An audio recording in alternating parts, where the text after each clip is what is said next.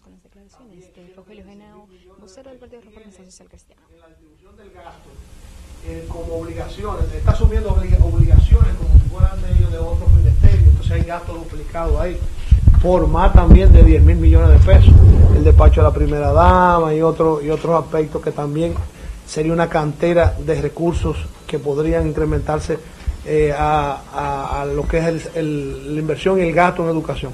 Pero también ustedes saben que desde hace un tiempo, después de la ley de presupuesto, existe el presupuesto plurianual. Y este presupuesto no solamente no consigna lo que, lo que establece la ley para el sector de educación, sino que tampoco establece una escala progresiva que pudiera eh, decir que existe una voluntad de una gradualidad. O sea, tampoco está consignado.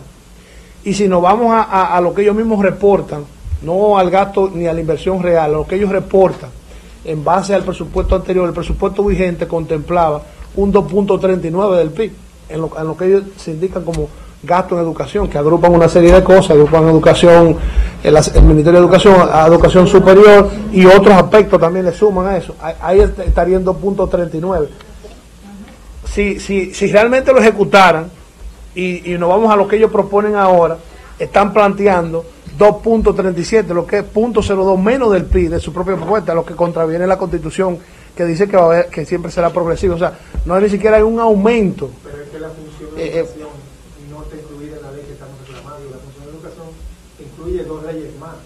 Incluye la ley eh, 139-02, que es la de educación superior, que es el 5% del presupuesto junto con el de la UAS.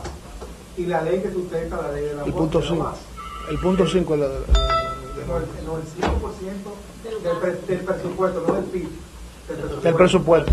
Entonces, ¿qué, qué es lo que está sucediendo? Que si se mezclamos las dos cosas juntas, estamos diciendo 2.39, pero no del 4, porque del 4 nada más es 1.98. 9.708 millones de pesos es lo que están planteando que iría.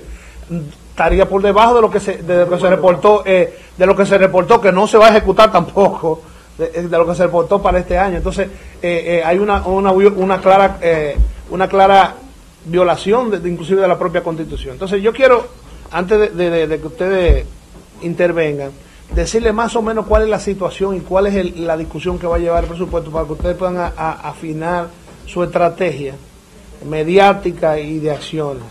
O sea, la idea de hoy, hasta donde nosotros hemos entendido como miembro de la comisión coordinadora, es, o sea, está- se ha agendado el presupuesto, se enviará una comisión con la idea de tratar de darle la primera sanción el miércoles sobre la base de que ellos saben que no tienen los votos para la declaratoria de urgencia. O sea, eh, el reglamento de la Cámara establece que cuando usted declara un proyecto de ley de urgencia, tiene que, la segunda lectura necesita dos terceras partes.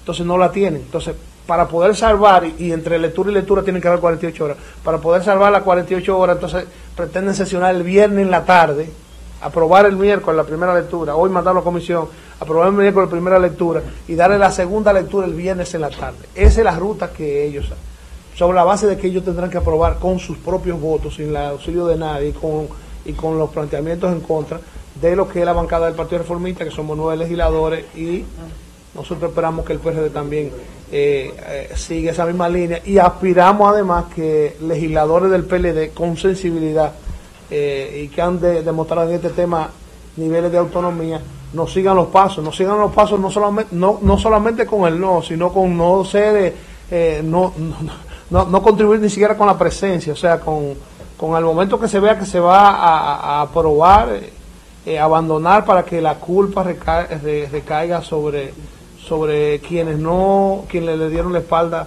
a- al reclamo social que nosotros entendemos que es más importante que, que ha tenido la República Dominicana en las últimas dos décadas. Nosotros tenemos ya un tiempo en el Congreso, 16 años, y hasta ahora, hasta ahora, eh, nadie había reclamado con tanta altura, Energía. energía y, y ha- y había logrado mayor eh, respaldo social. Nosotros hemos dicho que esta es una lucha social, ni siquiera gremial, ni siquiera gremial, social, que, bueno, la clase política se ha tenido que identificar, pero que es una lucha verdaderamente social, social y que eh, es algo, es un paso de avance eh, que hemos tenido en nuestra democracia y nosotros eh, eh, en ese sentido yo creo que también nosotros, la clase política, ha tenido beneficio del planteamiento y de la forma en que ustedes lo han hecho. El sistema de partido político está en un... El, go- el- el gobierno ha venido diciendo que entre todas las partidas que ellos tienen, Acaban de escuchar las declaraciones de Rogelio Genao, que hoy se reúne con la, co- con la Comisión de la Coalición Educación Digna. Le aseguró a la misma que él no tendrá, él no tendrá su voto, el presupuesto no tendrá su voto ni siquiera para hacer quórum. Está completamente a favor del 4% para la educación, al igual que el Partido Revolucionario Dominicano. Para el siglo XXI, Julia Ramírez. de